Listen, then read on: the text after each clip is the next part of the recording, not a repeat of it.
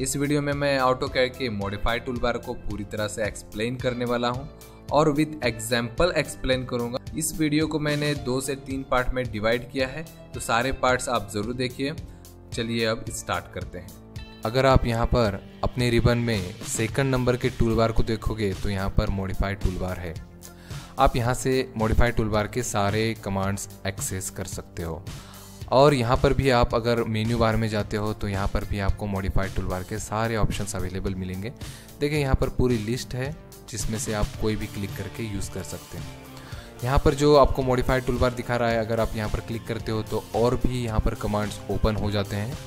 देखिए, अगर मैं यहाँ पर क्लिक करता हूँ मॉडिफाइड टूलबार में तो यहाँ पर और भी आपको यहाँ पर कमांड अवेलेबल हो जाएँगे। ये सारे कमांड्स हम लोग देखने वाले हैं। मैंने इस वीडियो को दो पार्ट में डिवाइड किया है। नेक्स्ट वीडियो में बाकी बचे हुए सारे कमांड्स को यूज़ करूँगा। तो वो वीडियो भी आप ज़रूर देखिए। चलिए अब मॉडिफाइड टूलबार के फ़र्स्ट कमांड के बारे में जानते हैं। तो यहाँ पर अगर मैं जाता हूँ फ़र्स्ट टूल फ़र्स्ट कमांड में तो यहाँ पर आपको मूव कमांड मिलेगा। तो चलिए जानते हैं मूव कमांड का यूज़ कैसे करते हैं।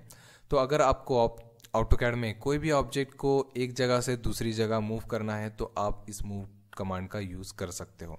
समझिए मैंने यहाँ पर कोई ऑब्जेक्ट बनाया है समझा समझो एक सर्कल बनाया है। तो एक सर्कल अगर मैंने यहाँ पर बनाया है, इसको मुझे मूव करना है तो आप यहाँ पर मूव कमांड का यूज़ कर सकते हो। तो मूव कमांड का यूज़ कैसे करना है? सबसे पहले आप ऑब्जेक्ट सेलेक्ट कर सकते हो यहाँ पर क्लिक करके। मैंने ऑब्जेक्ट सेलेक्ट कर लिया है, यहाँ पर आपको जाना है मूव कमांड में तो यहाँ पर आप क्लिक कर सकते हो मूव कमांड या फिर आप इसका शॉर्टकट भी यूज़ कर सकते हो। तो मूव का शॉर्टकट है एम आपको सिंपल अपने कीबोर्ड से एम टाइप करना है और एंटर करना है। तो एंटर करता हूँ मैं यहाँ पर, या फिर आप इसे सेलेक्ट करके यहाँ पर मूव कमांड भी यूज़ कर सकते हो। क्लिक करता हूँ मैं यहाँ पर मूव पे। यहाँ पर पूछ रहा है स्पेसिफाई बेस पॉइंट समझिए मैं यहाँ पर बेस पॉइंट देता हूँ सेंटर पॉइंट और ये सेंटर पॉइंट से मैंने यहाँ पर क्लिक करके मूव कर लिया। तो इस तरह से आप कोई भी ऑब्जेक्ट मूव कर सकते हो। फिर से देखिए यहाँ पर मैं क्लिक करता हूँ, यहाँ पर जाता हूँ मूव कमांड और फिर देता हूँ एक बेस पॉइंट देखिए, यहाँ पर सेंटर में बेस पॉइंट देता हूँ और यहाँ पर मैं इसे मूव कर सकता हूँ। चलिए जानते हैं कुछ प्रैक्टिकल एग्जाम्पल्स के बारे में। तो यहाँ पर मैंने एक फ्लोर प्लान ड्रॉ किया है। तो देखिए, अगर यहाँ पर आपको विंडो और डोर्स को अगर पोजीशन करना है, आपको यहाँ पर विंडोज़ और डोर अपने प्लान में फिटिंग करना है कुछ इस तरह से, कुछ इस तरह से फिटिंग करना है तो आप यहाँ पर मूव कमांड का यूज़ कर सकते हो। चलिए देखते हैं हम लोग यहाँ पर कैसे यूज़ करेंगे। तो सबसे पहले हम लोग सारे डोर्स फिटिंग कर लेते हैं यहाँ पर। डोर को मूव करने के लिए आपको इस डोर पर सिंगल क्लिक करके इसे सिलेक्ट करना है। उसके बाद आप यहाँ पर मूव टूल पर क्लिक कर सकते हो। यहाँ पर क्लिक करना है आपको, या फिर आप अपने कीबोर्ड से शॉर्टकट टाइप कर सकते हो एम एंटर एम एंटर करने के बाद यहाँ पर देखिए, आपको पूछ रहा है specify base point base point बहुत ही इंपॉर्टेंट है। बेस पॉइंट का मतलब है पिक पॉइंट मतलब आप इस डोर को मूव करते वक्त किस पॉइंट से पिक करना चाहते हो? तो समझो मैं यहाँ पर पॉइंट देता हूँ, ये वाला पॉइंट तो यहाँ पर मैं क्लिक करूँगा। और इस पॉइंट को मैं यहाँ पर मैच कर सकता हूँ। देखिए, जो मैंने पिक पॉइंट लिया था, उसी पॉइंट को मैंने यहाँ पर वॉल पर मैच कर दिया है। तो ये बेस पॉइंट बहुत ही इंपॉर्टेंट है। तो देखिए, हम लोग अब नेक्स्ट डोर को फिट करते हैं। यहाँ पर सिलेक्ट करना है। मूव पर क्लिक करना है। उसके बाद आपको बेस पॉइंट देना है, ये वाला। यहाँ पर क्लिक करता हूँ। उसके बाद मैं यहाँ पर सिंगल क्लिक करके इसे फिटिंग कर सकता हूँ। इसी तरह से आप इसके विंडोज़ भी फिट कर सकते हो। देखिए, मैं यहाँ पर सिलेक्ट करता हूँ इस पूरे विंडो को। इस तरह से सिलेक्शन बॉक्स बना के आपको सिलेक्ट करना है। उसके बाद यहाँ पर मूव लेना है। मूव लेने के बाद बेस पॉइंट देना है। देखिए, यहाँ पर मैं बेस पॉइंट देता हूँ। इस पॉइंट पर क्लिक करता हूँ मैं। उसके बाद इस वॉल के सेंटर पे आप इसे रख सकते हो। देखिए, यहाँ पर आपको सेंटर पॉइंट मिलेगा। देखिए, यहाँ पर दिखा रहा है मुझे मिड पॉइंट इस पर क्लिक करना है। ये मैच हो गया। अब नेक्स्ट विंडो ऊपर की साइड में लगाते हैं। तो यहाँ पर मैं सिलेक्ट करता हूँ। और यहाँ पर मैं मूव कमांड का यूज़ करूँगा। उसके बाद यहाँ पर बेस पॉइंट दूँगा। नीचे का इस पॉइंट को बेस पॉइंट दूँगा और इस पॉइंट को मैं यहाँ पर रख सकता हूँ। तो देखिए, यहाँ पर मिड पॉइंट मिल रहा है मुझे, यहाँ पर आपको क्लिक करना है। तो इस तरह से आप बेस पॉइंट को पिक करके उसे किसी भी पॉइंट पर मैच कर सकते हो, ठीक है? तो ये हो गया हमारा मूव कमांड चलिए, एक और एग्ज़ाम्पल देखते हैं जो कि मैकेनिकल डिपार्टमेंट के लिए है। देखिए, यहाँ पर एक नट बोल्ट की असेंबली है। तो नट बोल्ट की असेंबली अगर आपको करनी है तो इन पार्ट को आपको मूव करके असेंबल करना होगा। तो देखिए मैं कैसे करता हूँ। मैं इस नट को सिलेक्ट करता हूँ यहाँ पर। सिलेक्ट करने के बाद मैं यहाँ पर मूव कमांड लूँगा। उसके बाद फिर से यहाँ पर बेस पॉइंट दूँगा। यहाँ पर देखिए बेस पॉइंट में सेंटर दूँगा यहाँ पर मिड पॉइंट और इस मिड पॉइंट को मैं यहाँ पर सेंटर पॉइंट पे रख सकता हूँ। तो इस तरह से आप कोई भी असेंबली कर सकते हो मूव करके। अब देखिए यहाँ पर ट्रिम कर सकता हूँ मैं। इसको T R double enter T R double enter करने के बाद इन लाइन्स पर सिंपल आपको क्लिक करना है। तो देखिए यहाँ पर मैं क्लिक कर देता हूँ। ये सारे लाइन्स में ट्रिम कर दूँगा। तो ये हो गया हमारा मूव इस तरह से आप कोई भी पार्ट मूव कर सकते हो ठीक है? चलिए एक और एग्जांपल देखते हैं। यहाँ पर देखिए एक रेक्टेंगल है और एक सर्कल है। इस तरह का अगर हमें मूव करके कोई ऑब्जेक्ट क्रिएट करना है तो कैसे करेंगे? तो सिंपल मैं इस रेक्टेंगल पर क्लिक करता हूँ मैं शॉर्टकट टाइप करता हूँ मूव के लिए एम एंटर और यहाँ पर मैं सेंटर यहाँ पर सेंटर दूँगा। देखिए यहाँ पर मुझे ज्योमेट्रिक सेंटर दिखा रहा है क्लिक करना है और उसके बाद आपको इस सर, सर्कल के सेंटर पे क्लिक करना है। देखिए यहाँ पर मैंने मैच कर लिया है। अगर आप ऑटो कैड का पुराना वर्जन यूज़ कर रहे हो तो यहाँ पर आपको जोमेट्रिक सेंटर नहीं मिलेगा। तो यहाँ पर अगर मूव करते हो तो यहाँ पर कोई भी जोमेट्रिक सेंटर आपको नहीं मिलेगा, अगर आप पुराना वर्जन यूज़ कर रहे हो तो। तो देखिए, उस उस वक्त आपको कैसे मूव करना है? मैंने यहाँ पर जोमेट्रिक सेंटर ऑफ़ कर देता हूँ सबसे पहले। यहाँ पर देखिए जोमेट्रिक सेंटर मैं यहाँ पर ऑफ़ कर देता हूँ।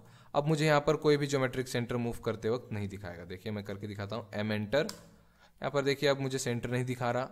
तो आपको करना क्या है? सिंपल यहाँ से मिड पॉइंट को ट्रैक करना है और यहाँ से भी इसके मिड पॉइंट को ट्रैक करना है। देखिए, मुझे यहाँ पर दोनों का इंटरसेक्शन पॉइंट मिल रहा है। तो ये होगा उसका ज्योमेट्रिक सेंटर। तो इस तरह से आप ट्रैकिंग करके भी ज्योमेट्रिक सेंटर ला सकते हो, ठीक है? तो यहाँ पर मैं क्लिक करता हूँ और इसको सेंटर पे मैच कर देता हूँ। तो इस तरह से आप मूव करके इसको कर सकते हो। चलिए, अब बढ़ते हैं नेक्स्ट कमांड की तरफ़। देखिए, यहाँ पर आप जाते हो तो यहाँ पर आपको सेकंड कमांड मिलेगा, रोटेट कमांड। रोटेट कमांड का यूज़ बेसिकली हम लोग किसी भी ऑब्जेक्ट को एंगल में रोटेट करने के लिए यूज़ करते हैं। तो चलिए देखते हैं इसके लिए एग्ज़ाम्पल समझो मैं एक लाइन लेता हूँ यहाँ पर, एक हॉरिजॉन्टल लाइन लेता हूँ। मुझे इसे 45 डिग्री में रोटेट करना है तो कैसे करेंगे? आपको यूज़ करना है रोटेट कमांड चलिए यूज़ करते हैं। तो मैं यहाँ पर सिंगल क्लिक करता हूँ अपने लाइन पर और यहाँ पर आप रोटेट पर क्लिक कर सकते हो। रोटेट पर क्लिक करना है। देखिए यहाँ पर स्पेसिफाई बेस पॉइंट पूछ रहा है। तो रोटेट करते वक्त बेस पॉइंट बहुत ही इंपॉर्टेंट है। आप जो बेस पॉइंट दोगे, वो पॉइंट आपका फिक्स हो जाएगा। तो यहाँ पर मैंने इस पॉइंट को बेस पॉइंट दिया है। अब यहाँ पर मैं एंगल डालूँगा 45 एंटर देखिए, ये जो लाइन है, वो ऑटोमेटिकली 45 में रोटेट हो गई है। तो आपको यहाँ पर बेस पॉइंट इंपॉर्टेंट है। देखिए, मैं फिर से बता देता हूँ एक बार। अगर मैं यहाँ पर लाइन निकालता हूँ तो यहाँ पर मैं ऑर्थो को ऑफ़ कर देता हूँ। ऑर्थो ऑफ़ कर देता हूँ। तो आपको समझ में आएगा। अगर मैं इस लाइन को रोटेट करने जाता हूँ यहाँ पर रोटेट और यहाँ पर बेस पॉइंट देता हूँ मैं यहाँ पर तो देखिए ये जो रोटेट हो रहा है, ये इस बेस पॉइंट के हिसाब से हो रहा है। तो बेस पॉइंट बिल्कुल फिक्स होता है बेस पॉइंट कहीं पर मूव नहीं होगा, ठीक है? रोटेट होते वक्त। आप जो बेस पॉइंट दोगे, वो फिक्स रहेगा। अब देखो, मैं यहाँ पर सेंटर पॉइंट देता हूँ बेस पॉइंट तो यहाँ पर जो सेंटर होगा, वो फिक्स होगा। ये साइड से मूव रोटेट होने वाला है, ठीक है? तो इस तरह से आप रोटेट कर सकते हो। तो रोटेट करने के लिए यहाँ पर 45 डिग्री में टाइप करता हूँ, एंटर करता हूँ। देखिए, ये रोटेट हो चुका है। चलिए, इसके लिए हम कुछ एग्जाम्पल्स देखते हैं। तो यहाँ पर एक फ्लोर प्लान है यहाँ पर सिविल के लिए आर्किटेक्चर्स वालों के लिए। तो अगर आपको यहाँ पर डोर्स और विंडोज़ को फिटिंग करना है तो डोर्स देखिए, यहाँ पर डोर की ओरिएंटेशन 90 डिग्री फ्लिप्ड है यहाँ पर। तो ये जो है, ये हॉरिजॉन्टल डोर है, ये वर्टिकल डोर है तो आपको यहाँ पर रोटेट कमांड का यूज़ करके इनको ओरिएंटेशन करना पड़ेगा, ठीक है? तो यहाँ पर देखिए दो डोर्स मेरे पास हैं, यहाँ पर अवेलेबल और दो विंडोज़ हैं। हमें इस प्लान में इसे फिटिंग करना है तो कैसे करेंगे? तो सबसे पहले तो ये डोर मैं यहाँ पर फिट कर लेता हूँ मूव करके। एम एंटर करना है मूव करने के लिए। एम एंटर बेस पॉइंट देना है यहाँ पर क्लिक करके यहाँ पर मैं यहाँ पर फिटिंग कर देता हूँ। नेक्स्ट मुझे यहाँ पर डोर फिट करना है इस जगह पर। तो मुझे इस डोर को 90 डिग्री में रोटेट करना पड़ेगा। तो चलिए करते हैं इसे 90 डिग्री में रोटेट सिलेक्ट करना है आपको डोर को। यहाँ पर जाना है रोटेट कमांड तो रोटेट पर क्लिक करना है। उसके बाद आपको यहाँ पर बेस पॉइंट पूछेगा। आप कोई भी बेस पॉइंट सिलेक्ट कर सकते हो, जो आपको फिक्स रखना है। तो इस पॉइंट को मैं दे देता हूँ यहाँ पर। अब देखिए, यहाँ पर रोटेट हो रहा है। तो ये डोर हम लोग रोटेट कर सकते हैं। हमें 90 डिग्री में रोटेट करना है। आप यहाँ पर 90 एंटर कर सकते हो। तो 90 एंटर करना है। और अगर आप यहाँ पर ऑर्थो ऑन रखते हो, अगर आप यहाँ पर ऑर्थो को ऑन रखते हो तो आपका जो डोर है, वो ऑटोमेटिकली 90 90 डिग्री में ही रोटेट होगा। तो ऑर्थो ऑन रखते हो तो आपका काम आसान हो जाता है। आप क्लिक कर सकते हो इस तरह से। तो ऑर्थो ऑन रखना है और आप 90 डिग्री में इजीली रोटेट कर सकते हो, ठीक है? तो मैं इसको भी सिलेक्ट करके मूव कर देता हूँ। M for move M enter base point देता हूँ यहाँ पर नीचे और यहाँ पर मैं क्लिक कर देता हूँ, ठीक है? तो ये हो गया मूव इसी तरह आप डोर को भी रोटेट कर सकते हो विंडोज़ को भी रोटेट कर सकते हो। देखिए यहाँ पर दो विंडोज़ है, मुझे फिटिंग करना है। इसको मूव करके मैं फिटिंग कर देता हूँ। एम फॉर मूव ये बेस पॉइंट यहाँ पर देता हूँ। और इसको मैंने यहाँ पर फिट कर दिया है, ठीक है? यहाँ पर मिड पॉइंट पे। अब इसको मैं रोटेट करके ऊपर के वॉल में फिट करूँगा, कुछ इस तरह से। तो कुछ इस तरह से हमें फिटिंग करना है तो इसे रोटेट करना पड़ेगा। सेलेक्ट करना है। शॉर्टकट यूज़ करेंगे इस बार हम लोग। तो शॉर्टकट के लिए आपको अपने कीबोर्ड से RO टाइप करना है। कीबोर्ड से R O R O for rotate. तो रोटेट के लिए आर ओ टाइप कीजिए और यहाँ पर एंटर कीजिए। एंटर करने के बाद आपको यहाँ पर बेस पॉइंट देना है, कोई भी पॉइंट दे दीजिए यहाँ पर फिक्स। और देखिए ऑर्थो ऑन होने की वजह से हमारा जो विंडो है, वो 90 डिग्री में रोटेट हो रहा है। सिर्फ़ आपको कर्सर को हिलाना है यहाँ पर। तो अब हॉरिजॉन्टल आने के बाद आपको क्लिक करना है, ये हो गया हमारा रोटेट और यहाँ पर मैं सिलेक्ट करके इसको मूव कर देता हूँ। M for move M enter base point देना है यहाँ पर। और यहाँ पर मैं यहाँ पर सेलेक्ट कर सकता हूँ इसका मिड पॉइंट तो यहाँ पर मिड पॉइंट देता हूँ इस वॉल का। यहाँ पर मैंने इसे फिटिंग कर दिया है, ठीक है? चलिए एक और मैकेनिकल एग्ज़ाम्पल देखते हैं यहाँ पर। तो यहाँ पर अगर आप देखोगे तो इस पार्ट में जो ये सेंटर लाइन्स हैं, वो थर्टी डिग्री एंगल में है, ठीक है? तो अगर आपको इस सर्कल को ड्रॉ करना है, मैं यहाँ पर ड्रॉ करने वाला हूँ तो अगर इस सर्कल को आपको ड्रॉ करना है तो इसका सेंटर पॉइंट चाहिए होगा और सेंटर पॉइंट तभी मिलेगा जब ये लाइन होगी, ठीक है? तो ये लाइन हमें चाहिए सबसे पहले। तो यहाँ पर आपको 30 डिग्री में रोटेट करना है, दोनों साइड में 30 डिग्री है यहाँ पर तो कैसे करेंगे? तो इसमें अप्लाई करता हूँ मैं। आपको सबसे पहले तो इस लाइन को रोटेट करना होगा 30 डिग्री में। तो आपको क्लॉकवाइज और एंटी क्लॉकवाइज दोनों साइड में 30 30 डिग्री में रोटेट करना है। तो चलिए देखते हैं कैसे करना है। आरओ टाइप करना है अपने कीबोर्ड से आर ओ, या फिर आप ऊपर क्लिक भी कर सकते हो, ठीक है? एंटर करना है आर ओ के बाद। एंटर करने के बाद यहाँ पर बेस पॉइंट पूछेगा। तो बेस पॉइंट कौन सा होगा? फिक्स पॉइंट कौन सा फिक्स पॉइंट रहने वाला है? तो मिड पॉइंट यहाँ पर मिड पॉइंट ये है बेस पॉइंट यहाँ पर क्लिक करना है आपको। और क्लिक करने के बाद आपको एंगल टाइप करना है, ठीक है? तो यहाँ पर एंगल मुझे क्लॉकवाइज 30 डिग्री में रोटेट करना है।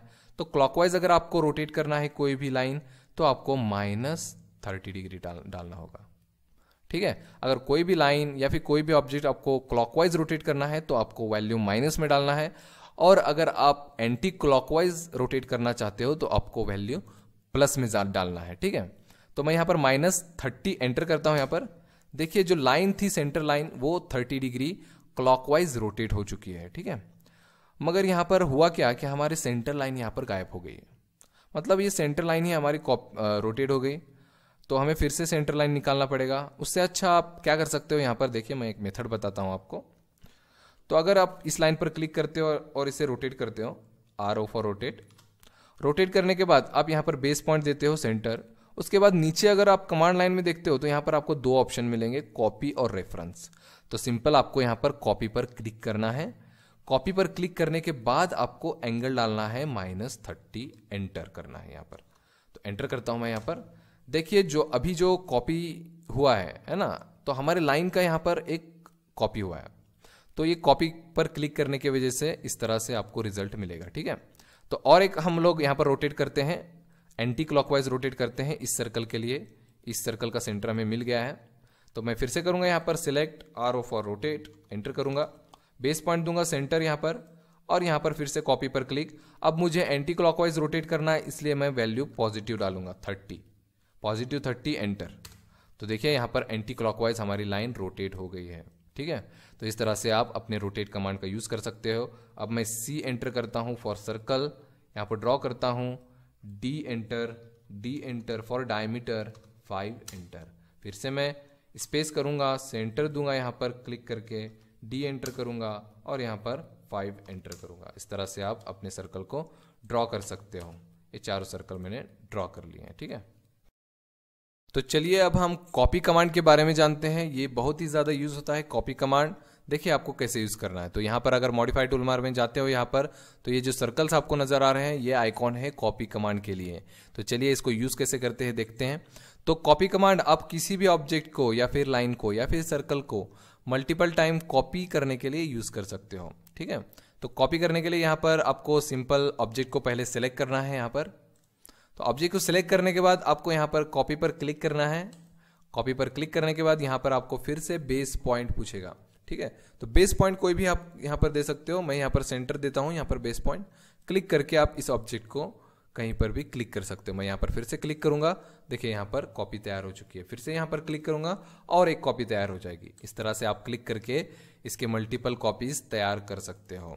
तो कॉपी करने के दो तीन मेथड्स हैं। चलिए जानते हो वो दो तीन मेथड कौन कौन से हैं। तो यहाँ पर मैं आपको फ़र्स्ट मेथड के बारे में बताने वाला हूँ। तो यहाँ पर अगर आप देखते हो copy by point to point method है ना?